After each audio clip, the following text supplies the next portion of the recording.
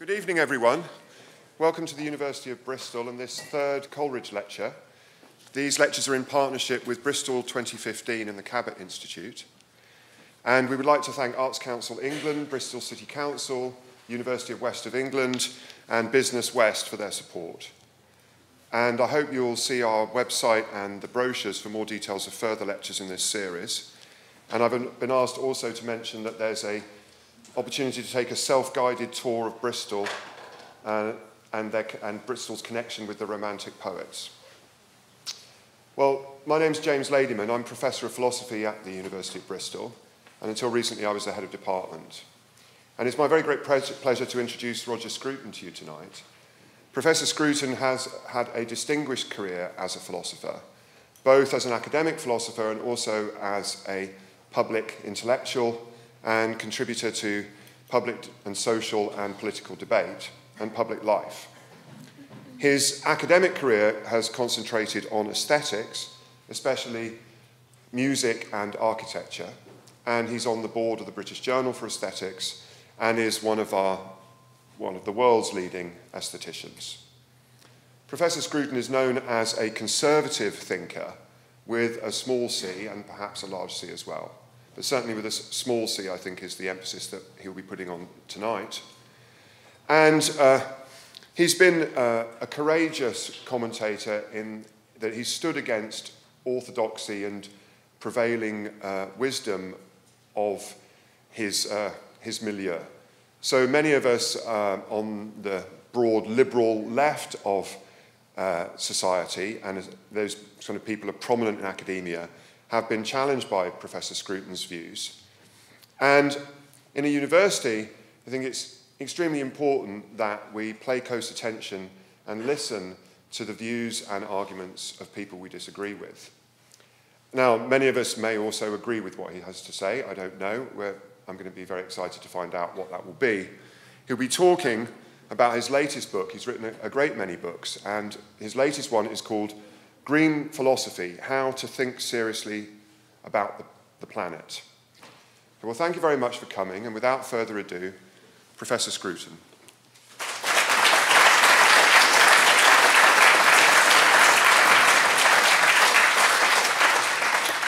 Thank you very much, Professor Ladyman, for introducing me, and thank you for, to the organisers of the Festival of Ideas for inviting me. I, am uh, very pleased to be talking in a series uh, dedicated to the memory of the great poet Coleridge, who's not only a great uh, poet, but also one of the founding fathers of intellectual conservatism in this country, which I, I guess is, uh, well, uh, makes a connection with me, although I don't have, a, of course, his great talent.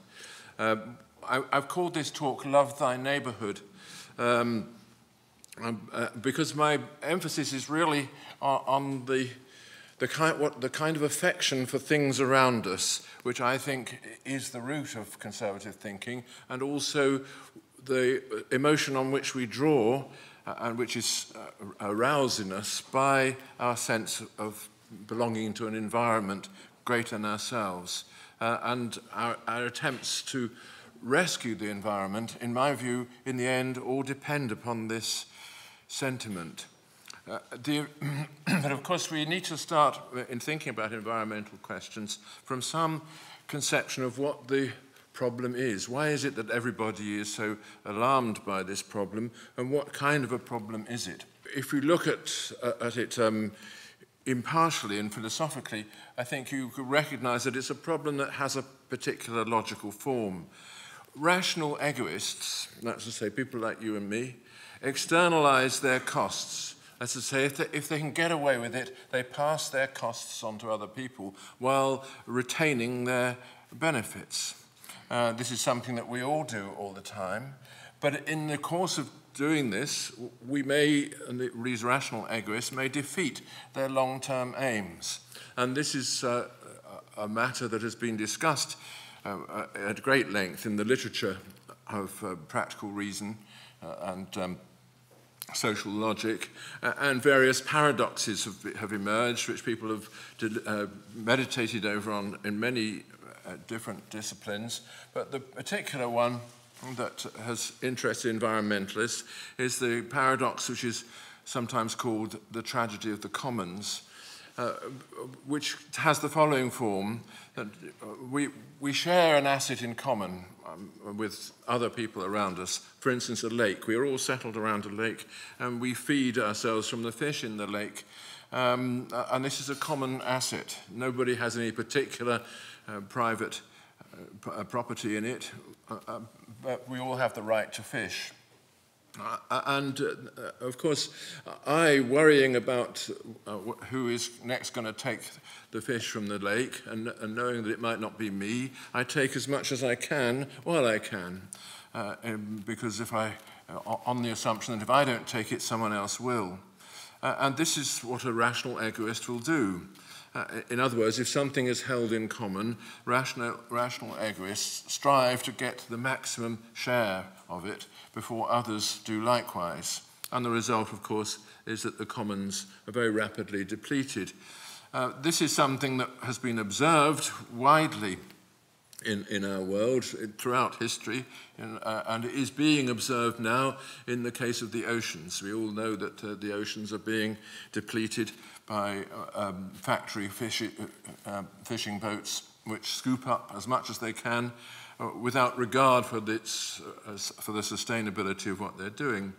And there are various other paradoxes of social choice which operate in this area.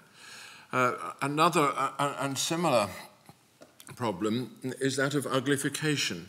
You know, uh, uh, it, the world, uglification is a word which we owe to uh, Lewis Carroll, of course, in, uh, uh, through the looking, looking glass. It's one of the things that you were taught in, in Alice's school. But um, it's been, the word has been picked up by uh, um, Kundera, the Czech writer, uh, and used to describe a feature of our world which he thinks is more and more apparent uh, and which is alienating, alienating us from the world. That by, by discarding our waste everywhere, by, by leaving behind us a trail of the things that we don't want, uh, we uglify our environment so that others are alienated from it too. And this is a kind, a kind of way of externalizing our costs, which also has a long term impact on ourselves. Uh, so, in these ways, we seem to be degrading our environment uh, through obe obeying our rational uh, disposition to secure our interests whenever we can. So, but uh, in these cases, damage to my neighbour is obviously going to be a damage to myself not perhaps immediately, but in the long term. And the question then is how do we rectify that damage? Uh, and that is preceded by another question, namely, who is my neighbour? The famous question that was uh, put to Christ uh, and which elicited from him the parable of the Good Samaritan. I think here we, we have to recognize that, that we are not just uh, first person rational choosers, that we don't actually only think in terms of I, what, what I want, and what will be best uh, to secure my desires. We also think in terms of we. All of us have a, sense of the first person plural, which is perhaps an adaptable sense. It's not, uh, we, we associate ourselves with different first person plurals depending upon the context. Uh, but nevertheless, we all of us in the end depend upon some sense of community when we set about uh, addressing these great problems, such as that uh, of, the, uh, of, the, of the tragedy of the commons. Uh, and so we identify ourselves uh, spontaneously as part of a community. This community might itself be included in a larger one, and there may be other communities which stand, as it were, in relation to the one that I belong, but to which I do not belong. Now, I, I think that uh, it's very important to recognize that this first person plural is a necessary input into practical reasoning. Uh, and it, this is especially so when we're dealing with these problems like the problem, problems of the environment, where we are not asking the question, what should I do? But we're asking the question, what should we do? Uh, and we need to know who this we is. Uh, and this is where um, I take this, to, this is what I take to be the starting point of a sensible environmental uh, philosophy. Uh, and, uh, and um, the crucial person here uh, in starting off this, this thought is Edmund Burke, who recognized that there couldn't be, in his view, anything like a, a political order which didn't identify a first person plural. Uh, and uh, I want to read to you something that I wrote in this book, Green Philosophy, which Professor Ladyman just kindly referred to, because I think it, it, it encapsulates what I think is the, the real issue. So uh, Burke took the view uh, that, um, that uh, we, society is an association of the dead, the living, and the unborn. And this carries a precious hint as to how the responsibility for future generations arises. It arises, on Burke's view at least, from love. And love directed towards what is unknown must arise from what is known. The future is not known, nor are the people who will inhabit it, but the past is known, and the dead, our dead, are still the objects of love and veneration.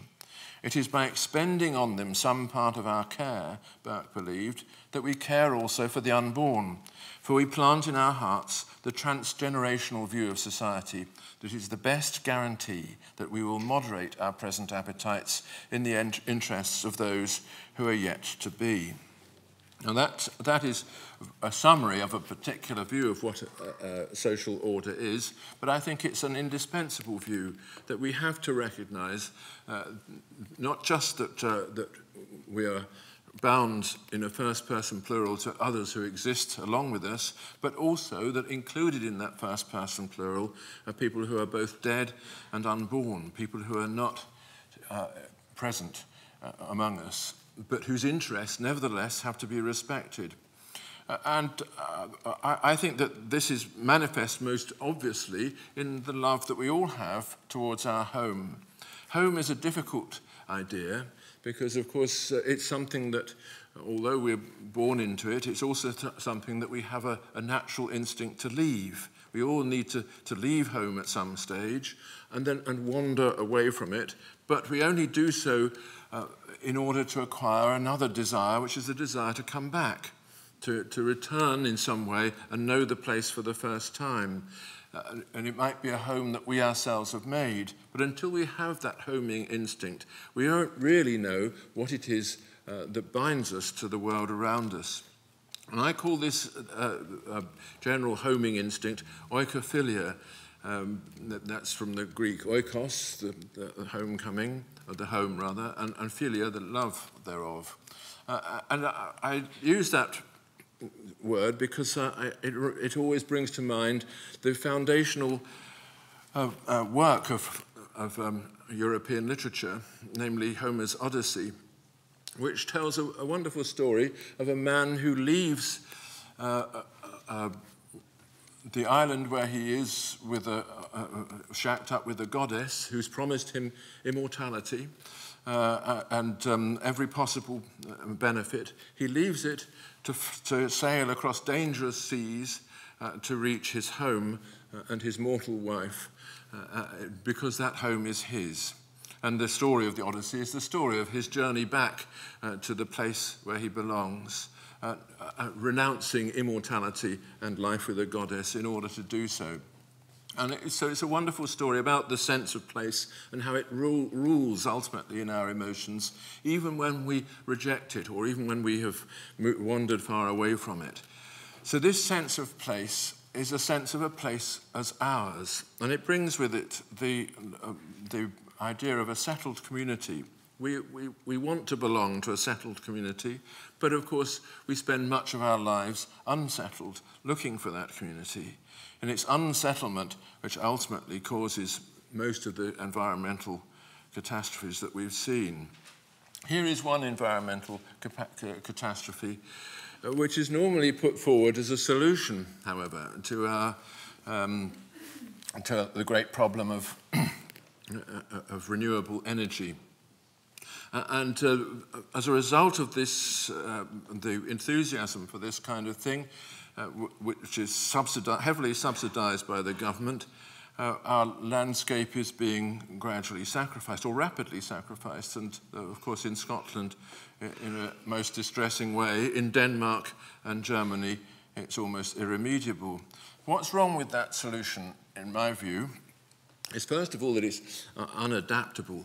Uh, it's, um, it changes the environment in a way which is not going to be easy to reverse. In 20 years' time, when a real solution has been found to the um, renewable energy, those windmills, wind uh, turbines will stand broken and derelict all over the countryside, and nobody will know how to get rid of them. So it produces irreversible damage, and it's unreal as a solution. So we can see from the, the German case, uh, the Germans have done the, the, as much as they ca can to, um, to uh, uh make their energy supply uh, dependent only on solar power and wind power. But um, as we know, it still produces only 20% of what they need.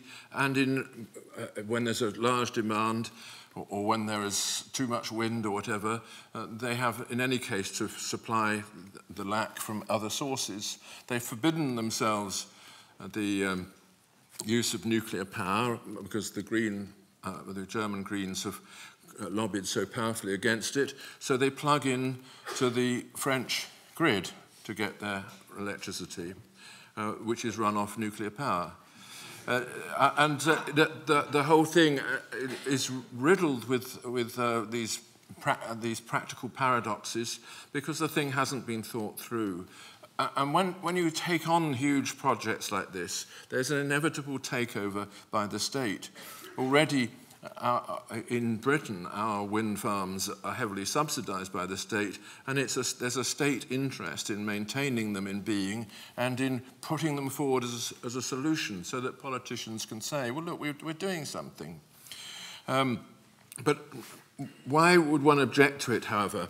I think it, I object to it because it is an offence to the only motive that really counts, which is our sense that some things can't be touched because they are our inheritance. It's an offence to the first person plural that I've been, uh, that I just referred to.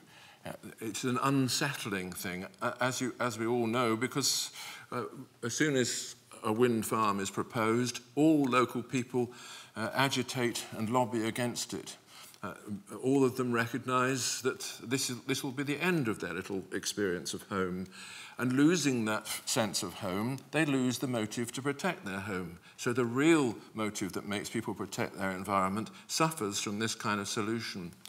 And, and it postpones the real solution which, uh, uh to the renewable energy problem, which is um, a scientific one, the discovery of some source of energy which really is sufficient for the number of people on the planet and the kind of life that they expect, and which does not uh, warm the planet or, or does not produce the kind of gases that will lead to the warming of the planet. But that's something which can only be achieved by a, a heavy investment in research. And if the government has a role to play, it must be, that, that must be its role.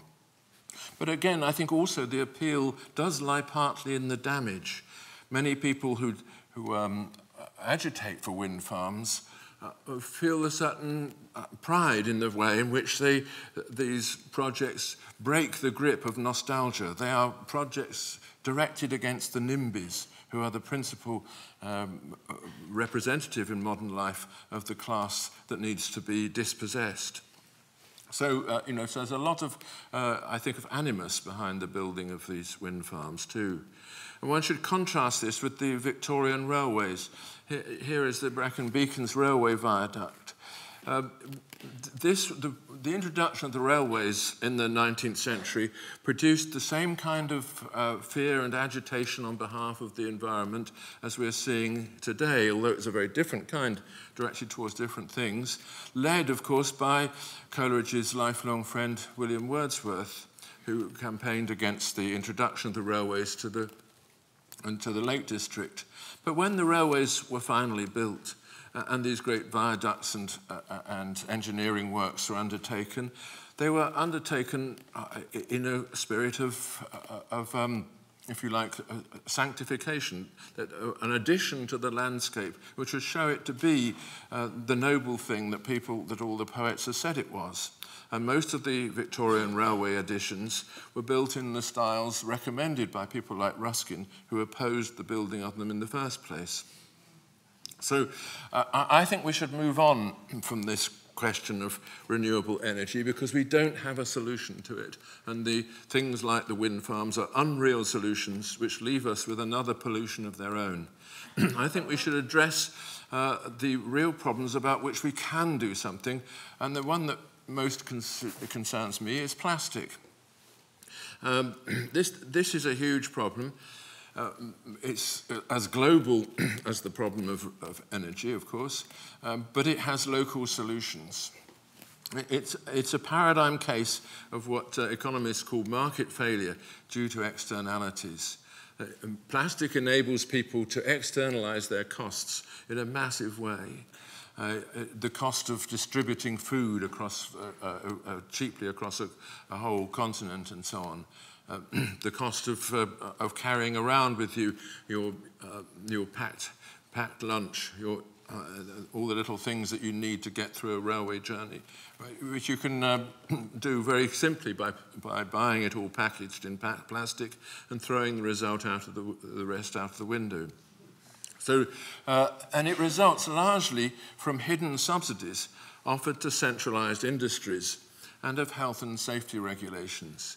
Know, the, in the supermarket today, something like 20% of the weight of the products that go out of the door is plastic. It's the wrappings uh, around the food or, or the, uh, the bottles in which things are, uh, are, um, are bottled uh, uh, and, and so on, and the little, those plastic trays which protect vegetables from being squashed when they're all piled up in their boxes for easy transport. Now, uh, you might say that that's, of course, something which, uh, which, without which there wouldn't be the, the kind of uh, easygoing nationwide distribution of products that we enjoy. We can enjoy products from all over the world, but as the environmentalists have told us, we only enjoy these because uh, the, the, the transport of them has been heavily subsidized by, first of all, by the building of roads, secondly, by uh, the uh, lifting of planning restrictions so that people can store them in great warehouses, for, uh, uh, uh refrigerated warehouses on the outskirts of towns, and so on. These, these hidden subsidies offered to these centralized industries are, also give them a competitive advantage over the local food economy and over the little shops that previously distributed food to people. So inevitably, uh, the supermarkets win out uh, and the regime of plastic wrapping takes a, a step forward. But one must not ignore also the effect of health and safety regulations. Uh, supermarkets campaign on behalf of health and safety regulations, which require us, for instance, to wrap things in, in uh, uh, wrap meat in plastic so it's not exposed to the air and, and so on, because that is a, the easiest and simplest way of driving their competitors to the wall. Uh, uh, the small lo local farmers market can't do this. It can't wrap its stuff in, in such a way as to satisfy requirements of health and safety uh, whereas a supermarket easily can through centralized distribution networks. Now, uh, uh so uh, here is an example of something where we have imposed upon us uh, ourselves something which is actually not necessary, the wrapping of food in plastic, um, by permitting uh, these hidden subsidies and by imposing unnecessary health and safety regulations which add to the problem. So the solution is to hand, which is to get rid of those regulations and also uh, to uh, get rid of the hidden subsidies, or at least make the subsidies available to everyone. But it needs regulations that penalize externalities and reward internal solutions. People should be penalized uh, for uh, uh, wrapping things in plastic rather than encouraged to do so. There should be a way in which this cost is returned to the person who actually uh, produces it. The result of plastic pollution uh, is well known. This, um, this is a little bit of the Pacific uh, whirlpool the great, uh, you know, the, the, this great mass of plastic. So, some say it's twice the size of Texas, swirling around in the middle of the Pacific Ocean. It only needs 0.001% of our plastic wrappings to be carried away by the wind and, eventually wash down to the ocean for this to become the kind of problem that it is. So that, um, there is the problem. Uh, uh, and here is the solution. Uh, and both of them are absolutely apparent to us. Both of, it, both of them can be worked towards on the local level. And at the local level, success will breed success. A government which forbade people, forbade the export of things in non-biodegradable wrappings would very quickly change the, the international market in such things too. Now, when you say these, when you offer these sort of solutions, I know uh, a lot of detail is absent from what I've just said, but when, when one begins to think in this way, you always come up against the forward-looking people who say, we can't go back. Now, the, the re correct response to someone who says we can't go back is to say, I know, but I'm calling it forward. Uh, because it's only a word, uh, you know, go forward to the past if you don't like going back to it. But um, the, the, the, main, the main point about this is that there's an unexplored motive in people, uh, the, the motive which I call oikophilia, which can be uh, elicited, it can be encouraged, and once it is, uh, uh, uh, once it comes to the fore, it does tend to mobilize people in the direction where we, that we want them to go. It's a motive which, tell, which encourages them to put the I concept to one side and adopt the we concept instead. And it has many forms. Oikophilia is manifest in our love of beauty. This is where it first entered um, English literature in a way, I mean, the great, uh, uh, the great uh, invocations of natural beauty in Wordsworth and Coleridge uh, are really also invocations of a shared sense of home, the sense of being in a place uh, and loving it and knowing that one's identity is mingled with it. So, uh, and, and that love of beauty is something which entered our literature in the uh, late 18th century became the, the ruling idea in, in, in, for the, throughout the 19th century, and in particular in the work uh, of, of John Ruskin, who built from this concept of beauty his conception of exactly how human beings should live in the world, uh, how they should respect that world and see it always as something greater than themselves. And it's to Ruskin, in fact, that we owe the environmental movement as we have inherited it. It's he who, who wrote the first great uh, um, uh, sort of uh, theor theoretical utterances, such as the Seven Lamps of Architecture, uh, uh, in which he made clear that if without the sense of beauty, we will leave the earth desolate in as, as we pass through it. And it was a disciple of Ruskin's uh, who set up the National Trust at the end of the 19th century. But it, oikophilia also manifests itself in the love of children, the love of parents, the sense that we have duties that are located in a place. And these all point us beyond the empirical world, beyond our immediate in, uh, se sentiments, towards another form of order. We're always trying to make an order greater than, the, than that of our own appetites, to see things uh, as though they were, had some kind of eternal validity. And that is something which uh, answers to our moral sense too, our sense of responsibility towards things which reaches out well beyond our own immediate desires and needs, uh, and uh, which is connected with that emotion which is called agape in the New Testament, the, the, the love of, of, of, one's neighbour, the love to which we can be, to, the love to which we are commanded, as Kant puts it. And this love of neighbour is, I think, the same ultimate uh, emotion as the love of neighborhood. We are all, of course, disposed to, to be disordered in our behavior. Entropy is always increasing, as the uh, physicists tell us. Um, but we are also, unlike the other animals, we have a, a tendency in the other direction, the tendency towards settlement, of, of containing this entropy, of of gathering energy from our surroundings so as to maintain order uh, of a more permanent kind. That brings me to, I, I've, I've talked a little, I've mentioned the, the energy problem and the need, uh, the great problem about how we find safe and renewable sources of energy. I've mentioned plastic, which seems to me to be the, a soluble problem, which everybody is ignoring, um, although everybody can see it all around us. And I want to conclude with a, a, another uh, problem, which is that of urbanism. Because if what I've said is, is right, we human beings have a need for settlement uh, in order to fulfill our sense that, uh, of oikophilia, a sense that there's a place that is ours, a place to which we can devote our more communal feelings, a place which is connected with our first person plural.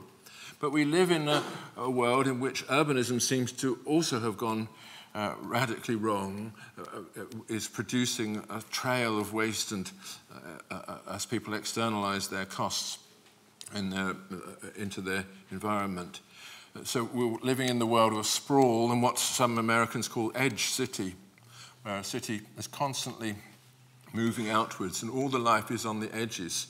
Where people still try to enjoy a little view of the countryside with a supermarket near enough for them to drive to, uh, and meanwhile the city in the middle uh, dies. Uh, what is the solution to this problem? Uh, many people in America say it isn't a problem, let it go on forever, but which is something you can just about, and, and that's a, an idea you can just about entertain in a large continent with uh, which is still not overcrowded. But of course, you can't entertain that view here in, in, in this, which is the most overcrowded country in Europe, uh, uh, which is in turn the most overcrowded continent uh, in the world. So the solution to this, in my view, is aesthetic and not economic. We need aesthetic constraints which, which uh, as it were, focus our attention inward onto the city and not outward. Uh, uh, and, and in the past, th this has always been understood, so that properly planned cities have had constraints, boundaries, constraints on height, for instance, as in Washington and Helsinki, uh, constraints on boundaries, which is, has been our principal uh, way of managing this in Britain, thanks to the Town and Country Planning Act of 1946, which uh, uh, set green belts around the, the, the major towns uh, and forbade development beyond those green belts unless it was part of some uh, radical departure like building a new town and so on. Or there are constraints on materials, which is perhaps uh, in many ways the most successful, as in Paris, um, uh, or constraints imposed by neighbours, as in Switzerland, where in some cantons you can only build if you first of all put a little maquette in, in, in wood and and cardboard up so that the neighbours can see whether it's, they're going to like it and then they can vote on it. Well, uh, of course, that's now uh, uh, uh disappearing. But uh, here is the result of, uh, of um, the normal procedure of externalizing costs. Um, this is um, Newark, New Jersey, which is hell on earth, as, as anybody would know who's been there. Uh, you all have to pass through it if you take a cheap flight to America. But, uh, uh, um, you know, luckily nobody ever goes out of the airport. Uh, uh, but if they, the, the, the residents of Newark don't live in that mess, of course. They don't live there, they live here. um, but still, is that the kind of future that we want? And what, kind, what is the environmental impact of that? The traditional settlement, of course, was a kind of settling down, which was also a reaching up. This is the, the, the classical Italian hilltop village uh, in which um, people nestle side by side. And of course, the whole thing is aesthetically beautiful uh, and has a, a, sense of comfort and home, homeliness which keeps people attached to it, uh, at least uh, until, the, uh, of course, the local economy collapses. So the great question is, uh, uh, uh, uh, to, to, in order to consider this issue, is to ask ourselves, what are cities? Uh, in the past, they've been places of refuge. Uh, it, it was, the city was not necessarily the place where you lived, it was the place to which you fled when the nomads invaded your, your land. you know, the, that was the place where you barricaded yourself in. It's a, a safe place behind the wall. But there were also, there were also places of settlement uh, in, in due course, and they became so partly because they were sacred. If the Old Testament tells the story again and again of the holy city of Jerusalem, which is sacred uh, because it's the place where the temple has been built to the god of the, uh, of the tribes. And that temple was built according to a design that he himself gave to Moses. Uh, and um, this, this idea that you sanctify a place by building a temple seems to be a, a, have been universally accepted in the ancient world, and it's part of what made it possible for people to settle. If God has settled here, then that's obviously a good place for me to settle too. And, in due course, these cities became places of law and civility. They, they would all be under the sovereign, under the sovereignty of some um, individual sovereign or, or, or a council or whatever, uh, which had a law-making capacity. so there are places where people obeyed the laws, obeyed the rules, and they obeyed them willingly. So there are places of order. And all that is contained in the aesthetic of the city, which is an aesthetic of fit. It's not about showing off or anything, except insofar as what is shown is an object of collective pride. It's about people fitting their lives together in, in a state of uh, shared acquiescence in the customs and laws that bind the community. And that is what we see in the ideal city architecture. Here is obviously a, a very famous example of Nördlingen in Germany, where we see what the traditional city really was, the settling side by side of people within the walls, which you, you see it again, of course, in Carcassonne. And uh, this goes back, uh, as I say, to the ancient world, where the first gesture in settling was to build a temple to the, to the, the god of the, of the city, in this case Athena, who, who was the, also the lawgiver, whose presence in the city uh, is celebrated in, in Athenian literature as well.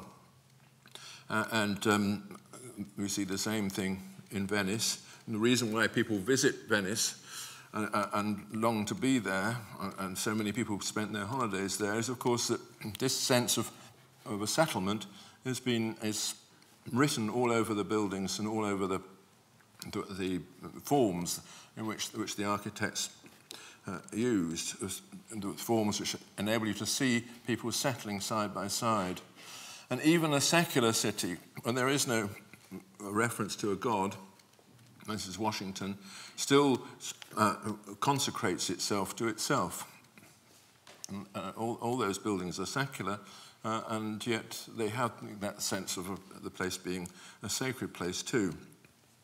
So, settlement involves such things as making a place for the gods, a place for law and sovereignty, a place for markets, building streets and squares, and all these features are embodied in the aesthetic judgments that we make. You know, that's what make things, makes things look right to us.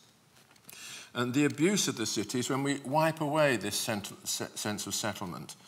We'd either lose a dominant aesthetic or we just uh, let things crumble. And, this, uh, and in the course of doing so, we desecrate the land on which the, the, the city is built.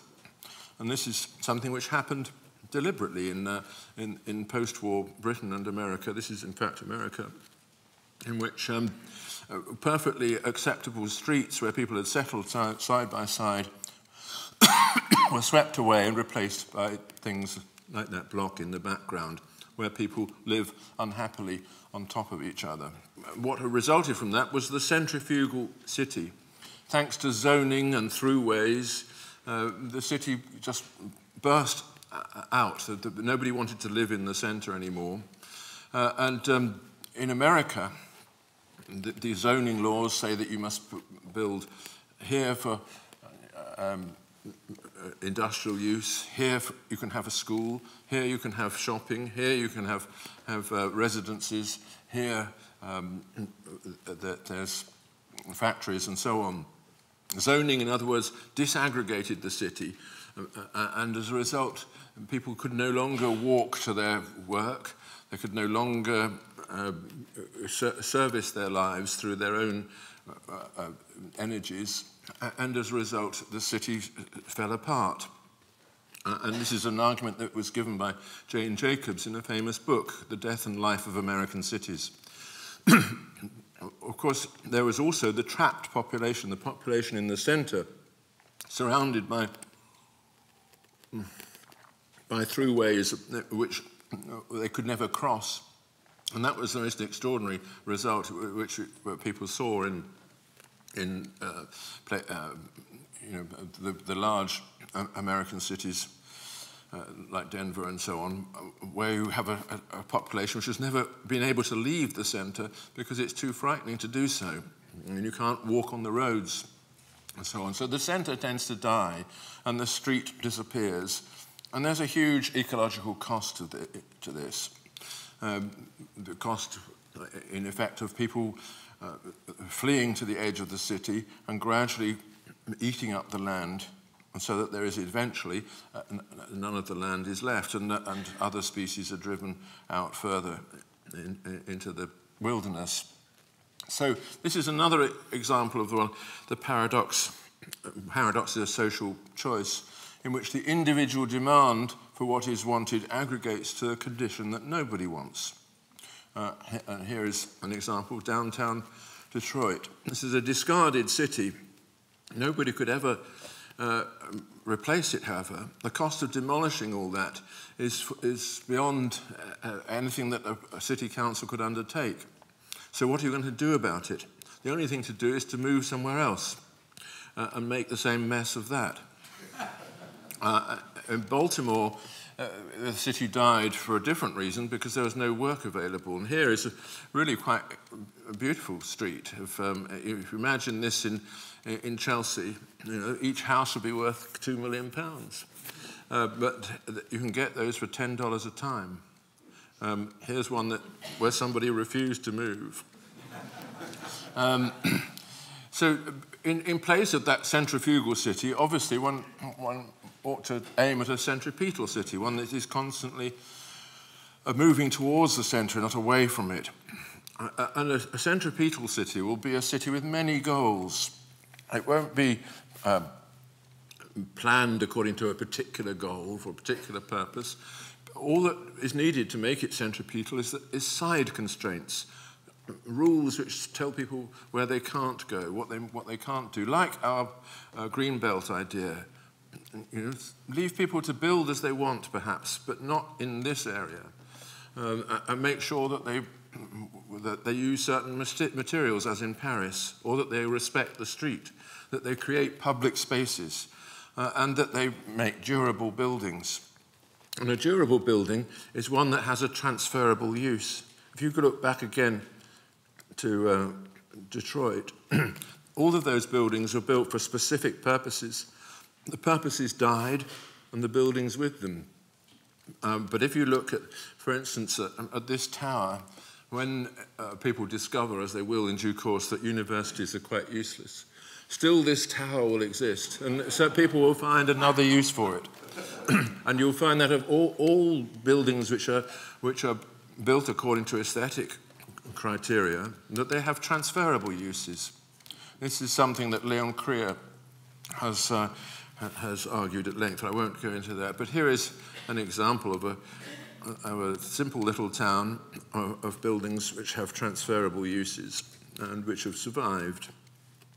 Uh, so that it tells us why aesthetic judgment matters, why it is part of oikophilia. It's thanks to our aesthetic judgments that we actually want to conserve things. This tower will be conserved because people appreciate its beauty. Uh, and uh, our countryside in Britain has been conserved for the same reason. The National Trust, uh, which has four million members, uh, is not a state organisation. It's the largest civic society that, that we have. And it consists of people who love the beauty of things and want to conserve them for that reason.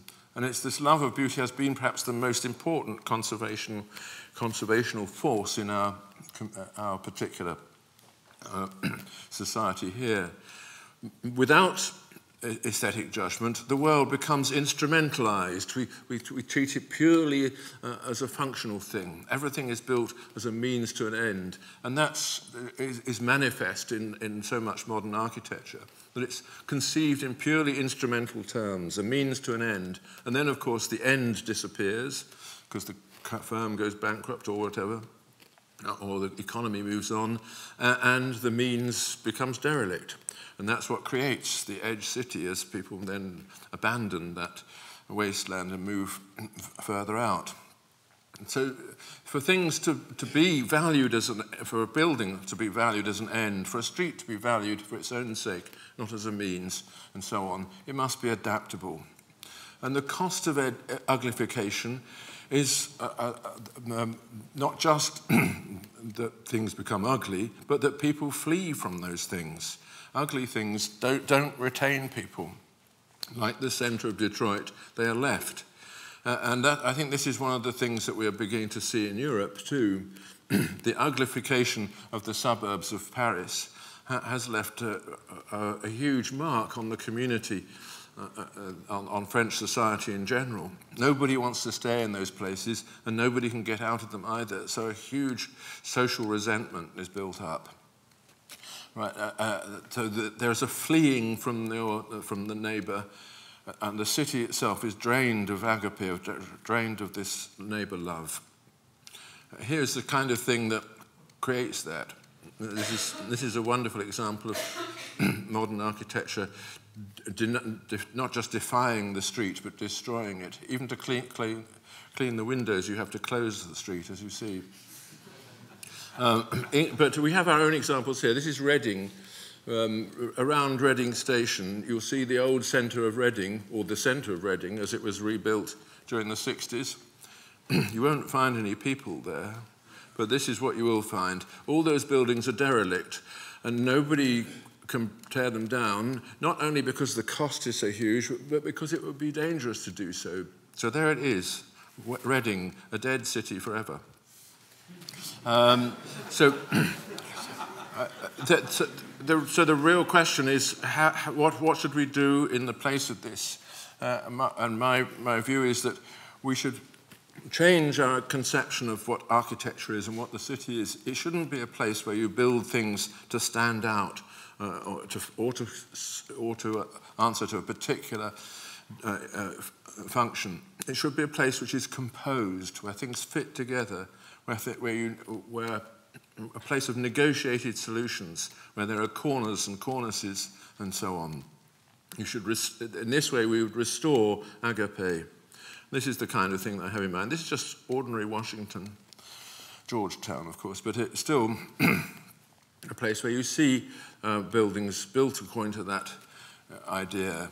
Uh, uh, buildings which have a transferable function, which fit together. You made out of uh, parts which you could, at the time, in the turn of the 19th and 20th century, you could buy from the local builder's merchant. The cornices are made out of pressed tin, and you could buy them by the, by the yard and so on. But still, it all fits together, and you can see Agape in that street. Just look at that woman. She doesn't, who's standing there looking at the house with a bag in her arm. She doesn't mind about the traffic. Uh, it's all going to slow down anyway. And so there's a, there, are, there are real human relations which grow in the shadow of such buildings. Uh, it's all, all, about being here. I, because I'm running out of time, I'm just going to zoom on to the end with two examples. here is Florence, which everybody knows, um, which is 40 square miles and 370,000 people. Uh, we in Britain are now facing the question of how to build and how to, how, how to accommodate our expanding population. Probably half of those 370,000 people are already on the way here.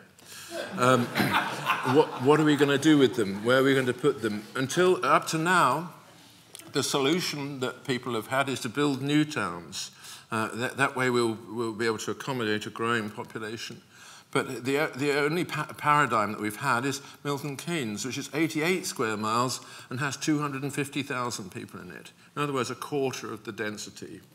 Uh, and also, uh, just to, uh, uh, uh Florence, as you know, has 17 million tourists a year, which produce a huge amount of income. This has four uh, uh, uh, so there's a, an economic problem uh, that comes with this too. So some concluding thoughts. What I've said is that, that, that we human beings need to cultivate in ourselves the art of settling. And that means giving vent to this sentiment that I've called oikophilia, this love of home which stretches across generations. We need to confine the human habitat and make it work. And by doing so, we will produce a living landscape also, a landscape around the towns which will, which will work. And, and I think we do this by respecting boundaries. The street, for instance, is something that should be respected and not intruded upon. It should be built up in the way that Washington Street was, as a place that we share. Uh, and likewise in the landscape, boundaries should be respected hedgerows, uh, the, the, the things that divide fields from each other, and, all, uh, and all those ways in which we actually set, our, set little segments of our world apart from each other and love them individually rather than trying to run them all together uh, uh and uh, uh, erode all the, the edges of things. Uh, but meanwhile, we have to deal with the great problem of externalities, which I referred to earlier, uh, and um, recognize that some problems are not soluble. They're not soluble, at least by, what, by the knowledge that we have now. The clean energy problem is not soluble. We haven't got the knowledge to solve it. But we spend our time with these unreal solutions, like the wind farms, which produce a pollution of their own, aesthetic pollution, which destroys our oikophilia, and so makes it less likely that we're going to protect our environment, and not more likely. So in all this, we need to search for a viable first-person plural, which will enable us to act together in protecting the thing that we love. And that, I think, is the most important political message of the environmental movement. And I personally think that there is, that, that is the main argument for what I call conservatism to get together with those people whom you think you belong, with whom you think you belong, and animate a shared sense of identity and a shared sense, shared sense of belonging. But uh, how to do it in the modern world is the great question. So, thank you.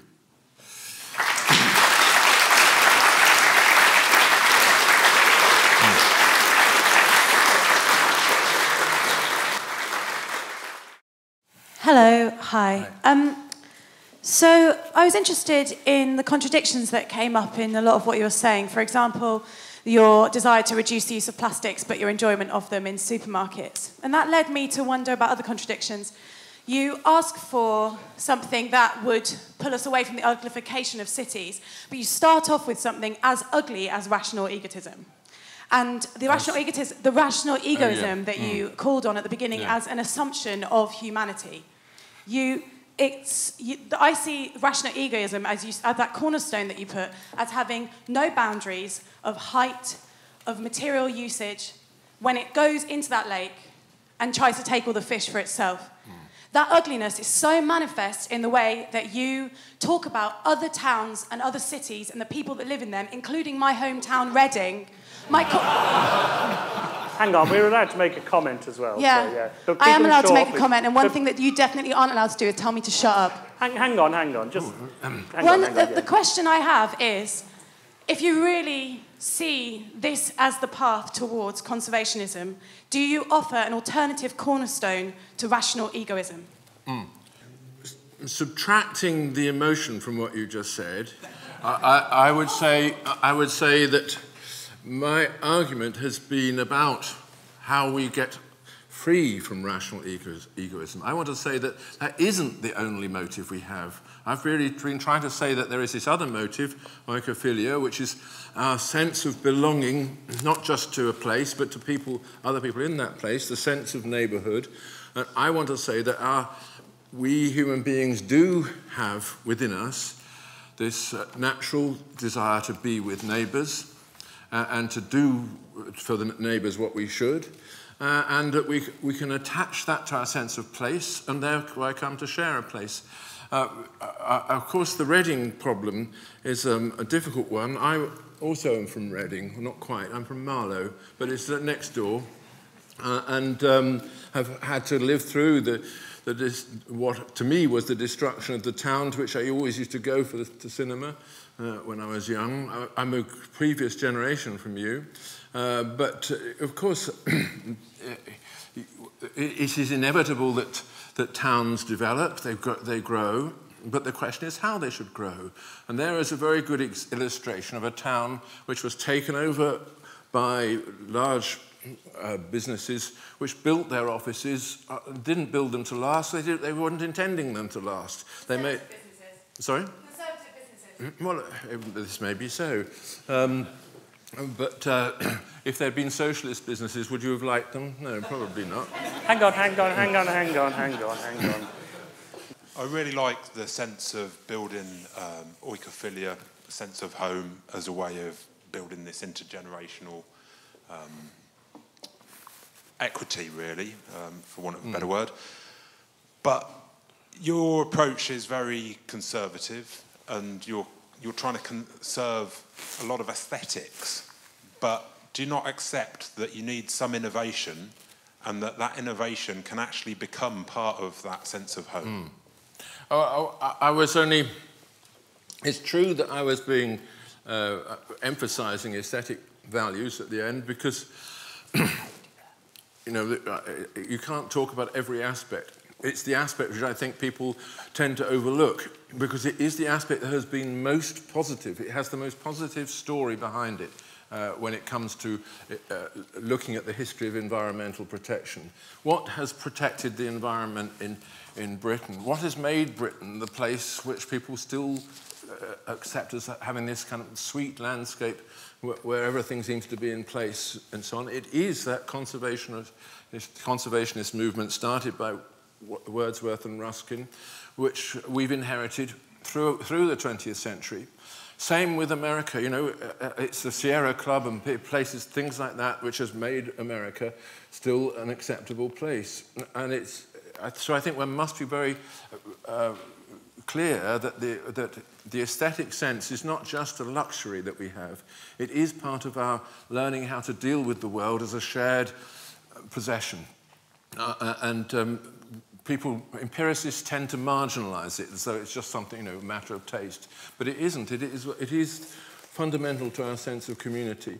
But I agree, of course, it's not the only thing, and innovation is important. That's why I gave the example of the railways. The railways actually beautified our landscape. Uh, and, um, you know, they produce things that people want to preserve. And a very good example is St Pancras Station which people wanted to pull down.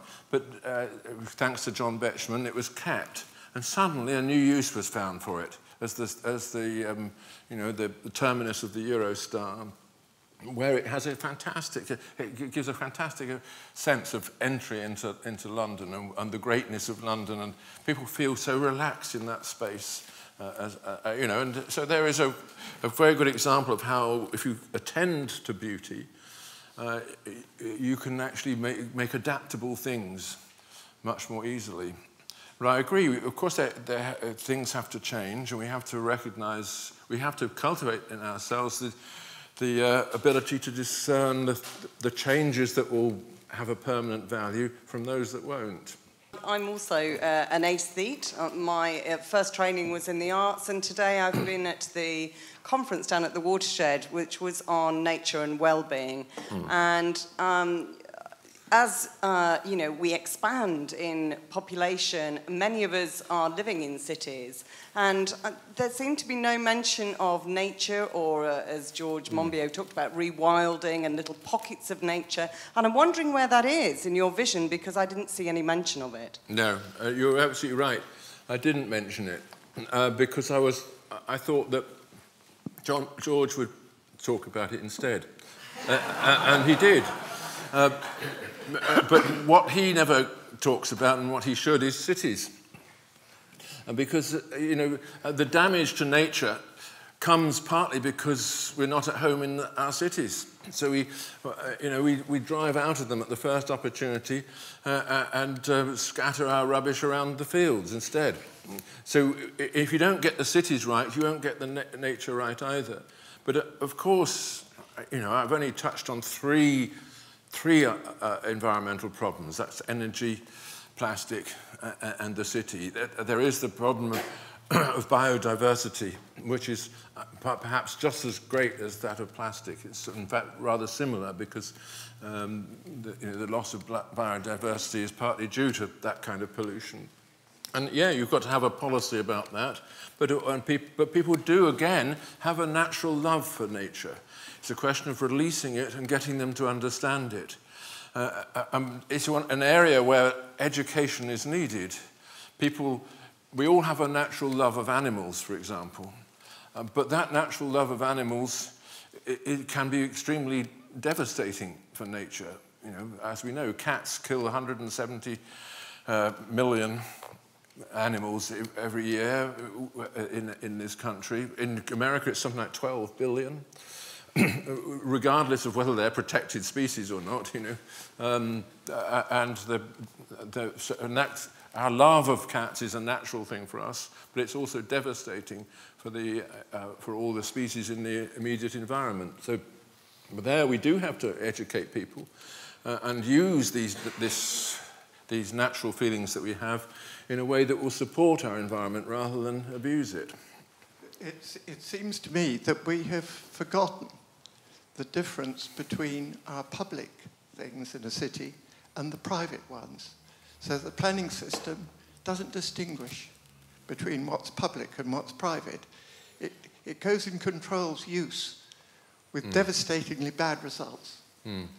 And the, but it doesn't protect the streets. It doesn't as it did in Bath, they did in places like Siena, Rome, Paris, mm. actually design the streets as a public element.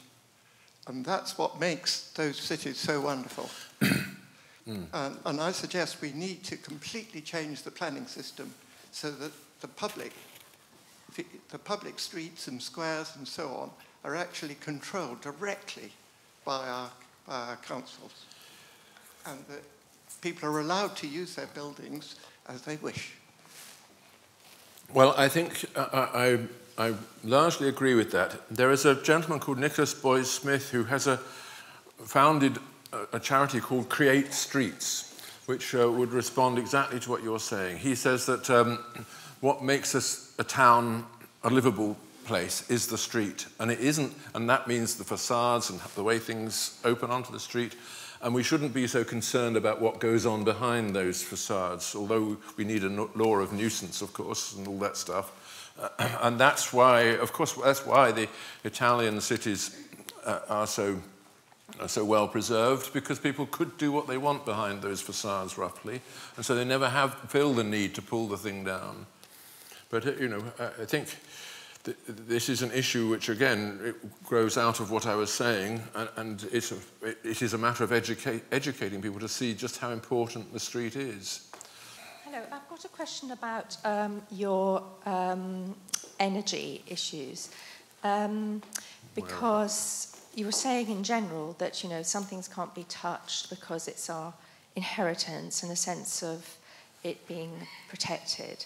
But um, at the same time, uh, you're talking about wind turbines as being uh, an irreversible problem. But I would say that surely they're not half as irreversible as nuclear energy, which has got terrible thousand year legacy of nuclear waste, which is surely a hmm. much harder um, irreversibility than some metal wind turbines, and the sense of the inheritance. Um, fracking, which is another alternative to wind turbines, is really intruding on people's sense of what belongs to them and their sense of their homes because it's giving uh, you know access to underneath people's land and homes and farms. So I just feel there's a sort of contradiction there. It's not a contradiction. Uh, you're just saying that here are some more examples where we shouldn't, uh, where we should be careful not to intrude upon something which is, uh, which is part of, so deeply in our inheritance that, that, um, that to intrude on it is to, as it were, to interfere with our, our sense of settlement. I, I, I, think the nuclear, the problem of nuclear waste is a huge problem. Uh, but we have to recognize that the intrusion on people's sense of home from a, a wind farm above, above that home is so enormous uh, uh, that you can understand that, that, that, this solution ought to be the last one that you consider rather than the first one. Uh, in particular, of course, uh, given the fact that it only that, that these things are however many of them you have, you'll never get to more than 20% of your energy needs. So I, th I think one just needs to think all these things through in a different way, asking yourself the question, what is it that people uh, want from the place where they are? What is it that makes them love that place? And how can we fit our energy policy into the, into the maintenance of that sentiment rather than simply wiping it out. If you wipe that sentiment away, what's the point? You've just wiped away with it the only motive that people have for protecting their environment in the first place. Yeah. I feel I have a, like, a, wonderful love for whatever place I'm in, um, but while I meet my material needs, I'm leeching resources from places far, far away from me all the time, and we all are. Um, if it's not uh, a wind turbine over my head, then it's fossil fuels from Canadian tar sands or underneath deserts in the Middle East, exacerbating population growths that are going to collapse in those places. Um, I, I, personally see a wind turbine as the least problematic of the ways we could meet our energy needs. But meeting our needs is, is, is the crux of my question because um, you, you, mentioned in your talk that there are 7 billion people on the earth um, who are to have the lifestyle they expect. I think that was your word, expect. Mm. And it seems to me that meet, meeting demand is, uh, has got the question backward. Uh, I think our great grandchildren will look at us sitting in this room and think, do we need 48 lights on? Uh, probably not, especially if we're burning coal and gas mm. to, to light ourselves. Um, so I agree we need to look at the problem differently, but I think differently from yourself. So should we be addressing that demand, or should people simply get what they want if they don't have to look at where it comes from? Well, uh, um, of course, you're right that, that um, we, it, it is probable that we can't meet all the demands. We certainly wouldn't be able to meet all the demands that people would make if they could. Um, but then this raises the question of how are you going to control them making those demands? Are you going to forbid them from making them? What kind of, uh, what kind of political structure would one recommend that, that actually filters out the, the acceptable from the unacceptable demands. And I think this is a, a problem that we all have, uh, and we, there isn't a simple solution to it. We have to recognize that, that we must make sacrifices, but that's why I, I referred to Edmund Burke, because he pointed out that you know, there is one thing that makes people make sacrifices, and that's their sense of, uh, of inheritance, the sense that they owe something to their people who are coming after them, and that they themselves owe something that, to the people who had come before them. You know, that, out of that sentiment, one can build a motive, to, a motive for restraint that, that is uh, familiar to all of us. And to emphasize that seems to me to be the most important thing, rather than uh, uh, emphasizing just the fact that we exist here and now for our own uh, satisfactions alone. Uh, and so, uh, you know, the, the, question then is how you build that into, into a policy. Nobody to my mind, has come up with anything like a policy for controlling the appetites of 7 billion people in such a way that the earth will benefit from that control. Um, and the attempts to control people uh, through totalitarian systems have been, from the point of view of the environment, much, much worse than the, than the uh, controls that, the, the small controls that we ourselves have experienced in the under the regime of a free economy. As everybody knows, that you know, the whole areas of Soviet, eh, well, what is now Russia, were devastated by the fact that people wanted to control people, what was going on completely. And they made mistakes, and those mistakes proved to be irreversible. And I think, uh, you know, we don't have the knowledge that enables us to control things in that way. Hi. Um, as a scientist, I'm interested in the first part of your, your talk. Um, so, um, the uh, chief executive of General Electric, which is the, um, one of the world leading um, providers of nuclear equipment, um, referred to nuclear energy as um, technologically difficult uh, and too expensive to scale up. Um, he referred to the um, world today as the world of uh, gas and wind, uh, whereas you seem to suggest it's the world of gas and nuclear. So could you comment on how you exactly disagree with uh, the chief executive of General Electric? Thanks. Uh, it's an interesting question. I've never been asked to have an opinion about the chief executive of General Electric before. Um, but uh, uh, my, my view of the matter is that, that uh, to solve the, if, if solution to the energy problem means finding a source of energy sufficient to satisfy current demand without any adverse environmental side effects. My view is that we haven't got that. Um, and we might get it if we could um, master nuclear fusion or something like that, or if we could find a way of trapping solar power which was uh, uh sufficiently concentrated that we didn't have to uh, spread the devices over everything and obscure the planet with them, uh, then yeah, we would then have a solution. But my view is that we haven't yet got a solution, and, and as a, but, but we nevertheless rush towards these unreal solutions like wind, uh, which have side effects which are environmentally much more damaging because they damage the only really positive thing that we have, which is our own sense of oikophilia. I, I think we must remember that human beings are our most important asset, asset and if you misuse that, them, then you're misusing the only thing that you really ultimately have.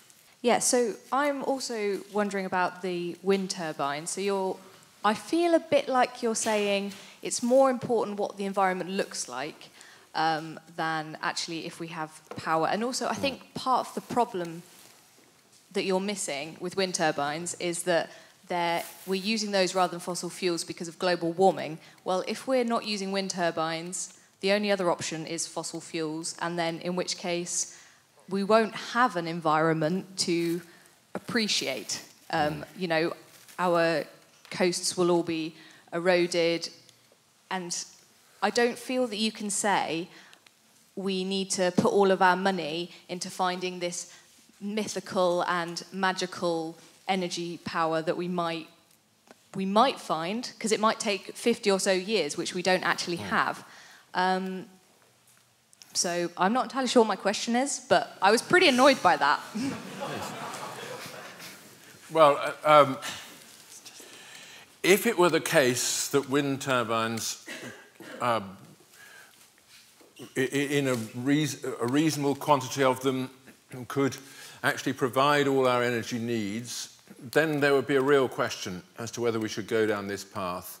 But even in Denmark, where the landscape is essentially obliterated all along the coast by wind turbines, only, they only provide 20% of the energy needs of the country. So you're still going to have that problem of all these other things. Uh, uh, and the real problem is how to get free from fossil fuels. I think we all agree with, that. Those are the things that, as we as we currently understand it at least, produce the greenhouse gases which, are, uh, which threaten us with ch climate change. Uh, uh, it's a controversial question, I know how much they do and all that, but uh, if that is the problem, this is not the solution. We've got to find something which really can replace fossil fuels uh, uh, in the sense of producing the same amount of energy.